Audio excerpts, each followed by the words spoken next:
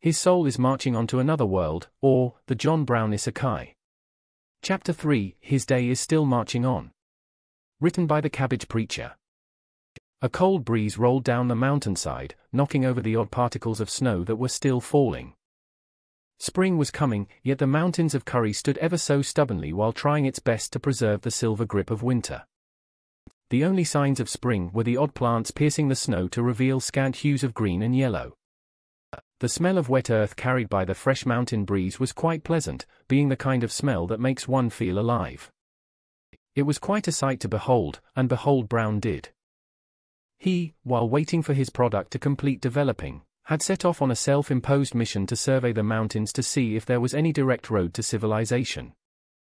The old man oft found himself voluntarily stopping in his tracks to admire what he took to be the majesty of creation, waxing poetically while doing so. As for his observations, there weren't many signs of human civilization in his immediate area other than the occasional abandoned mineshaft that had been abandoned and looted long ago. It seemed that only Brown had decided to settle down in this area. There was also an earthen path, the same one that he had seen the slaver on, that might, or might not, lead to human settlement. The forest that extended down from the mountains blocked him from seeing if there were any dwellings in the distance. He had decided that he'd head down there if he was left with no choice, the chance of being lost in a foreign forest was too high, especially as there were no familiar stars in the sky that could help him with navigation. Brown stopped when he saw a small lake, made by centuries of snow melting and eroding the rock which contained a small population of various fish. He wasn't hungry, so he felt content with watching the fish swim around the glistering, clear water. That's when Brown realized he wasn't alone in watching the fish. Old Brown's eyes had now met something fierce, a black bear standing on only two legs, watching the water in search for fish. The bear was chewing on the dead carcass of an unfortunate slime as it waited for an opportune time to acquire much-needed protein. From its standing position the beast looked almost human, a very hairy human that could easily end Brown's otherworldly adventures. Brown was a brave man, brave enough to raid a federal armory with 22 people, but he was not foolish enough to think that he could defeat a bear by his lonesome. He silently moonwalked, in a manner that would seem comedic to him if he was not in a life or death situation, trying not to capture the attention of the bear that might think of him as an easier source of protein. Crunch! His escape plans were cruelly ruined by an abominable twig that he couldn't properly see while moving backwards. Then the bear stared at Brown. And then Brown stared at the bear. Good morning, young man. I am just some old, dry meat you see, you have no need to his persuasion attempt failed, evident by the fact that the bear had begun running towards him in a manner that was shockingly fast for its enormous body. Brown, in a desperate attempt to gain an advantage, threw his makeshift spears before legging it. One of the spears bounced off the bear's fur, sharpened wood was no match against skin as thick as it, while the other managed to find itself being lodged in the bear's soft nose. This unexpected addition to the beast's body stunned it for a bit, allowing Brown to acquire much needed distance from the bear while it growled with killing intent. He began a brisk march towards the small cliff where his safe cave lay with his furry friend in tow. Brown was fast, the bear was faster. Every step meant a shorter distance between the two. It was quite hard for Brown to maintain such speed, especially as the melting snow had made the ground quite unsuitable for this unexpected morning jog not to mention that Brown was on the brink of being 60 years old. By the time Brown had reached the small cliff whose top housed his cave dwelling, the bear was so close that Brown could feel its crazed breathing make contact with his neck. Without taking a look back he began jumping to and fro towards the top of the cave when... Thud! Brown found himself hitting the cold ground, backside first. Now he made eye contact with the bear, not for long as Brown had to do his best to quickly jump sideways to avoid the claws flying down to him. This pitiful jump wasn't enough as one of the claws found its way to his right shoulder piercing through his coat as if it was made of wet toilet paper. Brown didn't have any time to swear or deliver a one-liner to entertain the readers as his shoulder was now bleeding, and he urgently had to make his way to the cave. He ignored the pain for now, choosing to stand up to again make way to the cave. This time he was successful thanks to all the extra adrenaline in his body. Thankfully the bear wasn't as agile as his somewhat not as furless counterpart, it could only growl and groan at Brown while watching him up on the cliff. Thank the Holy Spirit for guiding me away from that bear, muttered Brown. He promptly collapsed on the floor of the cave, his chest rising up and down in pain-laden exhaustion. He didn't have anything to stop his shoulder from bleeding any further. The old man could only pray and hope that the wound wasn't going to get infected. Brown laid on the ground like so for about an hour, wanting to sleep but being unable to from his shoulder aching, so dreadfully that he thought he was about to receive a one-way ticket to the pearly gates. After his rest he looked down from the cave to see, much to his horror, the bear patiently waiting down there. Around it was the emptied shells of the local slimes it had hunted during the hour. The bear seemed intent to set siege to its newly acquired mortal enemy. By the Lord, at least the bears in America weren't this patient. Commented Brown in observance of his new rival.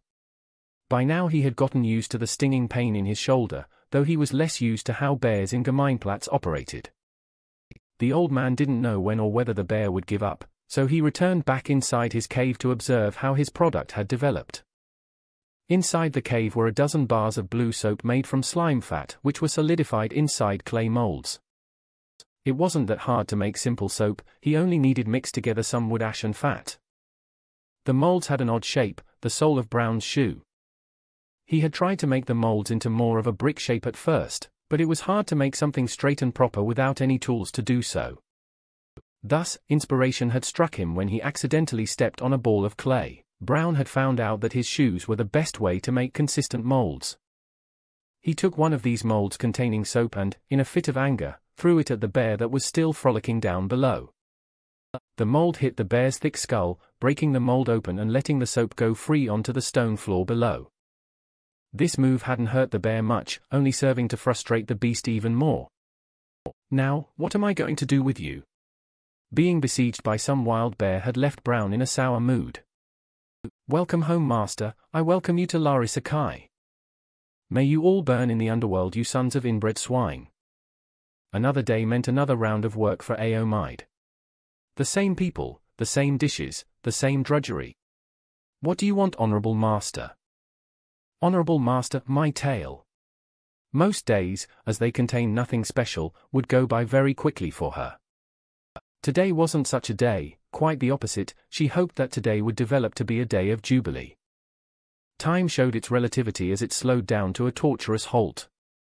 Here's your green mochi, master. May the mochi get stuck in your detestable throat. Thus, the day marched on, and on, and on, as if it would never end.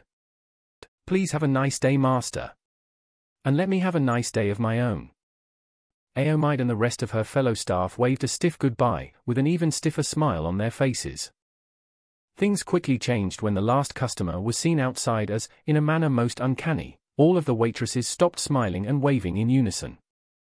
They didn't make any sound, no relieved sighs or humorous banter that had marked the end of a normal business day, while they marched in an orderly manner to their quarters. Aomide was about to execute her plan before being rudely interrupted by the proprietor. Aomide, my kitten, come here for a second.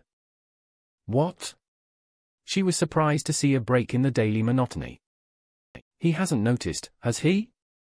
The proprietor was making a gesture with his finger that signaled Aomide to come to him. He didn't need to actually do this, as he was the one who was currently controlling her movement but pretending that his slaves weren't only doing his bidding out of mind control magic felt better for the proprietor. From his dumb smile, she understood that he hadn't understood anything about her plans for today. Her body moved to stand next to the proprietor while her co-workers went for their quarters. The proprietor locked the door to the slave quarters, while humming a chipper tune that was quite foreign to anyone in Gemeinplatz. Aomide's mind wasn't sitting idle while all this was happening. Painting on the wall, too inconvenient, that broom. Too far away. That leaves. The usual dumb smile of the proprietor which covered the entirety of his young, inexperienced face was one that would make Aomide retch if her gag reflexes were to be set free. Let us have some fun, kitten. Come on, don't be shy. At this moment Aomide was unable to control her speech, as usual, but she still controlled her thoughts.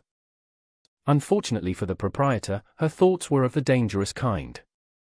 Dispel magic, body control. Aomide felt relieved as she felt her muscles obey her again. Without much further thought she took hold of the priceless porcelain vase that had caught her eye. Before the proprietor could notice that something was going wrong for him, the vase had made swift contact with the man's face. It shattered into a thousand or so pieces, one large piece kindly lodging itself to the man's left eye. The proprietor himself was shattered too after having found himself on the ground, left too stupefied to properly process what had just happened. You you dirty, swarthy wench. You damned NIARG, I can't see. He was brewing up a storm, thankfully being self-censored by his own pain, but none of the slaves inside their quarters were willing or able to help him. Aomide's heart was racing. She had done it. There was definitely no turning back now. She didn't have the time to be standing inside the cafe, it was likely that someone would soon come to investigate the ruckus. She barged out through the front door, running for dear liberty.